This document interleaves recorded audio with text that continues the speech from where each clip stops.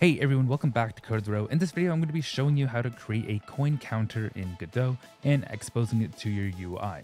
So let's go ahead and get started. I have this simple icon of this coin picture and you can use whatever you want. So the first thing I'm going to do is go over to scene, select new scene, and under the root node, I'm actually just going to look for an area 2D and it's going to give us this warning sign because we need a collision.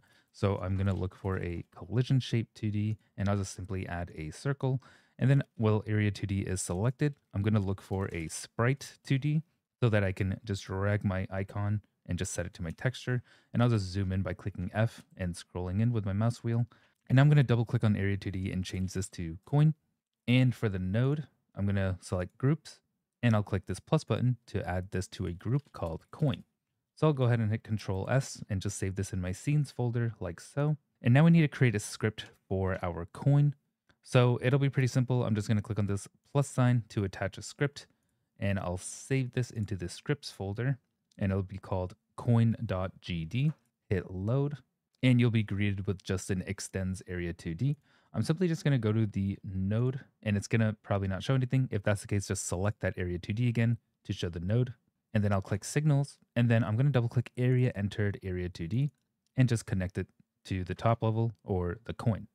And basically, when we enter this area, I'm simply just going to call the queue free, which will just make the coin disappear so we can't collect it again. And this is actually all I need. I just need the signal and we're good to go. And now I'm going to head over to my player scene, click on 2D, and then I'll click on my player. And this is a character body 2D, but I actually need an area 2D so that I can interact with my other area 2D. This is just how I personally like to do it. So while player selected, I'm going to hit Control A and look for area 2D.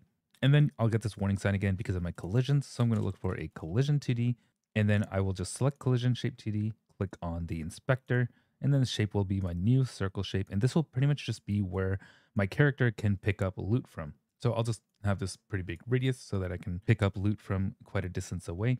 And now I'll go into my player.gd script and I'm going to just create a variable called coin counter is equal to zero, just because our player will always start with zero coins.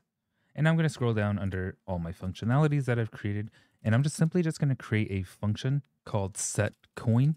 And I'm going to pass in the variable called new coin count, which is going to be of type int, like so. And then I'm just going to set our coin counter is equal to new coin count. And then above this, I'm going to create another on area 2D entered. So I'm going to click on area 2D, click on node, and then under signals, I'm going to look for the area entered and just connect this into my player. So it'll add this at the bottom. I'm actually just going to move it here.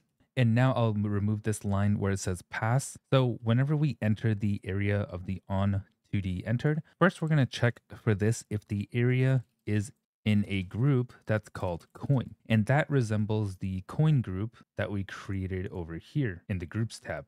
And if that's true, then we're just going to call this function called set count I'm actually going to change this to set coin like so. So we'll call set coin and then I will do coin counter plus one. And then I'll simply just print out that coin counter. So I'll print coin counter like so. So let's go ahead and go to our game scene and I'll drag in a few coin scenes around here, here, and here. Now when I go ahead and hit play, we should see the coins counting when my player goes over them. So it prints out one, two, and 3. Perfect. So now let's display this on a UI. So I'm going to go ahead and change the font just as personal preference. So I'm going to go to Project, Project Settings, and look for the GUI. And then under Theme, I'm just going to select a custom font. And I'll just look for, in my fonts folder, I'll select the Superstar Memes Bruh. And then I need to save and restart. And now with, the, with my project restarted, it's going to default my text anywhere on my game to be that font unless I specify otherwise. So in the game tab, I'm just gonna control A and look for a label. And with this label selected, all I need to do is just go to the inspector and I'll just do something like coin count and I'll just type in coin count colon zero and I'll click new label settings just in case I want to adjust the font. And I don't see the text because it's actually down here. So I'm to move this to the top left of my screen and I can actually nest it into my camera. So technically wherever I go, it'll be stuck on this top right portion. So let me show you an example. So if I move around, coin count will always be in this position. But let's actually make this functional.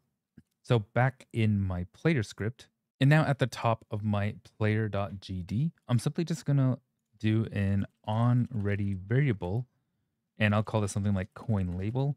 It's going to be equal to, I want to get this label. So I'm just going to right click on this label and actually access as a unique name. And I'll just drag this label in like so.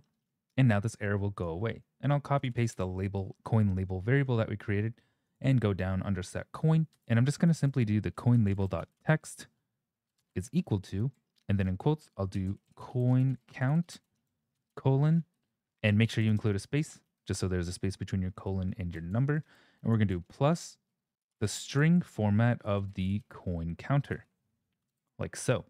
And now when we go ahead and hit play, whenever I go over coin, you'll see this number increase to one, two, three, and so on. And that's how you create a coin counter in Godot. Thanks for watching Code With Ro. Like, subscribe, comment what you want to see next. I'll see you in the next video, and thanks for watching.